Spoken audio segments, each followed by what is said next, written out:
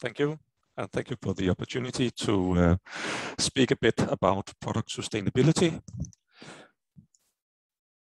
Just to uh, expand a bit on uh, my background, I'm from Danfoss, uh, more specifically Danfoss Drives, one of the three uh, business divisions in Danfoss.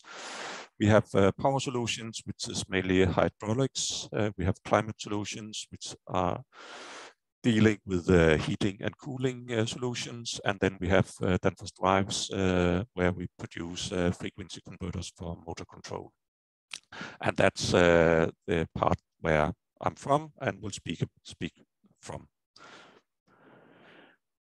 So I'm just to supplement a bit, I am standardization manager. I have responsibility for product compliance and uh, product sustainability. And uh, I'm also part of uh, or heading the CEMEP task force on circular economy.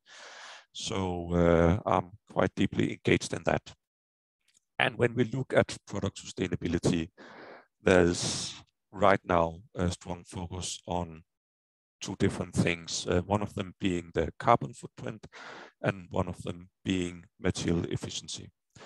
So there's really a look at what is the contribution from products in the entire life cycle, from the use of virgin materials and how can we reduce the consumption of that uh, through more circular loops. How can we design products or manufacture products to uh, lower the uh, carbon footprint and increase the material efficiency? How can we uh, improve the distribution and not least the packaging part? and how can we prolong the lifetime of products through uh, reuse, repair, uh, better maintenance, uh, and that kind of thing. And finally, how do we ensure that we have a proper handling of uh, the uh, final uh, end of life goods so that they don't end up in big piles of scrap. we see a clear market trend right now that sustainability and circular economy is coming to uh, up on the agenda of our customers we see a lot of requests for supplier information when we are supplying products to our customers. Supplier information, product information. Uh, so we see really wide-going sustainability assessments. We have questions about the environmental performance of our products or our organization. We have a lot of questions on carbon footprint and uh, the so-called scope three uh, emissions uh, from our organization. Uh, we have questions on circular performance and circular initiatives and uh, a lot of request for data on which materials are in the product, uh, what is the level of recycled content, and other sustainability information. Uh, and what we see is that uh, we are moving from that you could claim that you had uh, green or sustainable products to uh, that customers really ask about verified data, uh, certifications, and really a lot of data. So this is what we are looking into towards our customers. And of course, this comes from a general raise in awareness uh, among companies on the importance of the sustainability agenda. It also comes uh, as a result of uh, the ongoing uh, efforts on uh, the uh, regulation side. And here I will move towards uh, the uh, what's going on in Europe and uh, on the Green Deal. And here we saw two years ago the launch of a new circular economy action plan from the uh, European Commission as part of uh, one of the cornerstones of the new European Green Deal. And uh, they are now within this uh, framework uh, looking into launching what they call the SPI, the Sustainable Product Initiative. So this should be a new policy framework uh, to address the uh, circular uh, economy or the sustainability of products uh, for a wide range of products. So they have a hope that it should uh, improve the sustainability and it should also empower the consumers to really make more green choices uh, in in the future. So looking at what is needed, uh, and uh, as you can see, I have here, uh, I'm using uh, directly uh, slides that have been shown from the Commission to explain what are they thinking about this uh, sustainable product policy. And the background is that they say that the lifetime of project products uh, is not satisfactory. Uh, too many products break down too quickly. They cannot be easily reused. They cannot be easily repaired. Uh, it's difficult to recycle the materials. And there are too many that are made for single use only. So, and they can also see that the, the amount of materials used for products is going up, up, up uh, right quite uh, radically. So they see need for more incentives to increase the material efficiency of the products. And as they state, up to 80% of the uh, product's environmental impacts are determined at the design phase. So it's really important to have a look at the design phase. And that's also why the Eco-Design Directive will be one of the main levers for implementing this sustainability product policy. So they have a, a lot of objectives, uh, which is to improve the durability, uh, to improve the lifetime of the products, and also uh, as part of that, the reusability, the ability to upgrade, and the ability to repair the products also to increase the use of recycled content in the products and uh, to uh, facilitate uh, the ability to remanufacture uh, products that cannot be used anymore.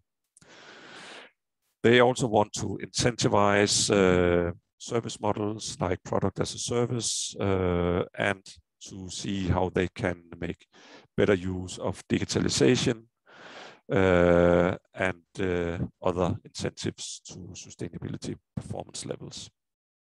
And they also want to look at sustainability not just as material efficiency, but also include uh, social aspects throughout the life cycle where they see them as feasible. And uh, of course, as a provider of uh, power electronics, we look a lot to the bottom here, where you can see what are the priority areas, and one of them is exactly uh, electronics. So, but they also look into ICT, textiles, furniture, and uh, steel, cement, and chemicals as some of the uh, high priority areas. So looking forward, uh, they have been working on this uh, uh, initiative since the beginning of this year. There has been an open public consultation in June, and they aim for propose a legislative proposal by the end of this year. So in December, hopefully we'll see something coming from the Commission on this. One of the uh, quite important uh, element in this uh, sustainable product uh, initiative is the so-called digital product passport. And this is something that will uh, definitely impact all of us. Uh, the idea behind it is that you really need to increase the exchange of data, to increase the level of information and transparency about products, to uh, promote the different aspects of uh, material efficiency and sustainability. So they want to introduce a product passport that would be something with a unique product identifier. So you will have some kind of uh, code on your products that will uh, link to this very unique product. And then this will link to data collected on the products uh, by manufacturer, but also by other uh, actors during the value chain. Uh, so some kind of link between the uh, this these data and the identifier. They see three main target groups for this passport. One of them being the consumers that will have better information about the sustainability when they purchase, and also guidance on repair, disposal options, and so on, which can be useful during the use of the product. Then the uh, economic operators should be also enabled to receive this kind of information. And finally, they also see that the surveillance authorities will have more uh, information that they can use for their uh, compliance uh, efforts. So they have uh, set up a number of different uh, business case for this. They say that uh, this will allow the tracking of raw materials from extraction and production so that you can use this for due diligence efforts and really have full transparency through the value chain of where does your materials in the product origin from and how have they been treated uh, during the lifetime. It will enable manufacturers to create digital twins uh, where we can embed all the information. So it's not the idea that uh, there should be a central database or more central databases uh, for this information. It is the idea that uh, most of this information will be uh, held with this uh, digital twin following the product and maintained by, first of all, the manufacturer and uh, later uh, other actors in the value chain. So it should be possible to to then see how has this product been repaired uh, has it been remanufactured? Uh, is it having the first or the second or the third life cycle? Uh, and what is the recyclability of uh, each of the materials that are used uh, in the product? It should make it easier, as said, for market surveillance authorities and also customs authorities uh, to get access to the information they would need to carry out their tasks uh, and also on a more uh, aggregated level, make information available to authorities and policymakers so that they can shape their incentives and their policy measures. And not least, allow consumers, citizens to have access to relevant and verified information related to the characteristics of the products. And the verified information is also uh, a thing that uh, you should note here. Uh, because they uh, have the idea that that this should be verified information. As said, the basic idea is that uh, every product should have this unique uh, identifier, uh, which could be a QR code or similar.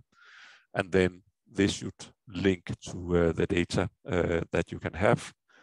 And uh, you should build on agreed standards and protocols so that you have a really interoperability based system for accessing this information.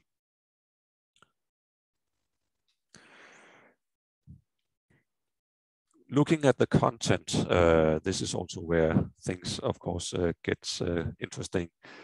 Uh, the idea is that uh, you make a lot of different uh, data available, uh, but not necessarily that all data will be uh, available for all actors.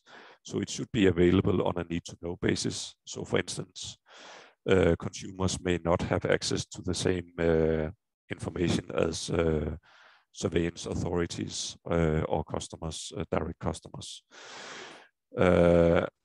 so so this should be part of the solution. So it is important, and this is also what has been intensely uh, stressed by the uh, different uh, industry associations, that you really need to uh, protect uh, confidential information, uh, business critical information in, in this setup. and there is an acknowledgement and awareness of that within the Commission. The Commission have uh, set up this uh, intermediate list of uh, what would they like to see included.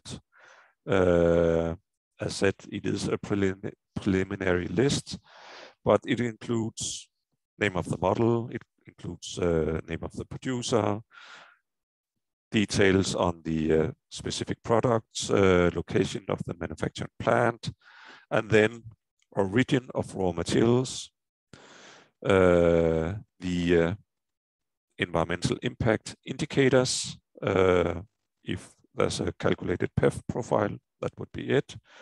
Any circularity indicators, also social indicators, uh, which they, since this uh, was made, have indicated that maybe this will not be uh, very easy to apply on a product specific level. So that may be on a company level. But uh, let's see. Uh, then information about chemical content, uh, chemical substances, information about the recycled content, and then different instructions on how to use, how to recycle, how to repair, how to dismantle, and uh, also other labels and green claims uh, uh, if available. So selecting the data, uh, they say that uh, it will, of course, depend on the product groups. So uh, there should be different classes of attributes and they should be uh, specified to different product groups uh, so that uh, you provide information that is relevant for the specific product group. And that will be different. there are knowledge about that. Uh, asset data on social impacts may be provided at a corporate or manufacturing site level rather than on the product level. But as I said, they really are uh, pushing that verification of data will be needed to ensure the compliance. So uh, you will as a manufacturer need to provide a lot of data and you will also need some level of verification to live up to uh, the uh, criteria here. So this is what we know for now about the Digital Product Passport. Uh, this uh, Sustainable Products Initiative is uh, led by three different uh, general directorates it's the DG Grow, it's the DG uh, Environment, and it's the DG Energy. And uh, the uh, Digital Product Passport is especially led by the uh, DG Grow. Uh, and it is work in progress, uh, and we will see uh, later this year what will be the legislative proposal for this, what will be the roadmap and the way forward and uh, what is it that they see as the uh, principal uh, content that they would like to see in it. Uh, they have indicated, uh, and uh, we have from industry association side provided a lot of feedback on that you really need to focus on what kind of data is useful throughout the value chain what is information that can actually be valuable for the different actors in the value chain. And that should be what you uh, request and not more than that. So looking at tomorrow's market requirements, we see that uh, there will be both when we look at the customer side uh, and when we look at the regulation side, we will see that uh, we'll meet uh, much more requirements to documentation of items, topics like durability, expected lifetime, repairability, reusability, the recycled content, the recyclability. We'll see a uh, requirement for full material declarations, including chemical substances. We'll see requirements on environmental performance, uh, life cycle assessments, uh, including the carbon footprint. And we may see uh, also requirements on social impacts uh, at different levels.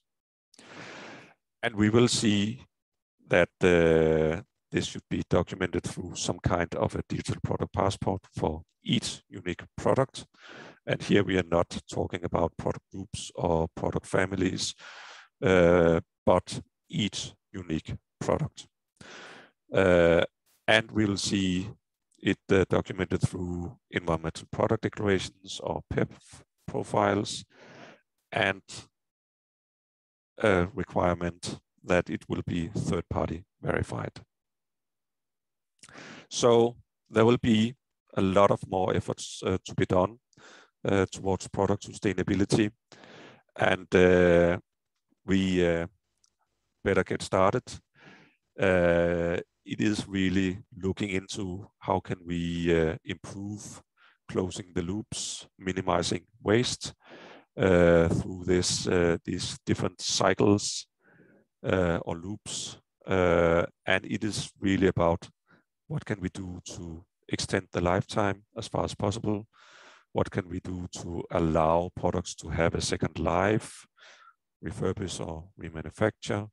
how can we allow the reuse of parts when we cannot refurbish the product itself, uh, including the easy disassembly of uh, the parts, and how can we ease the recycle uh, of uh, the materials, uh, ease the separability, ease the uh, identification of materials so that the recyclers in the end can have uh, easy access to each of the materials and use as lot of us as possible. So this is what we will need to look into. And uh, with this, I will close my presentation and uh, invite for, for questions.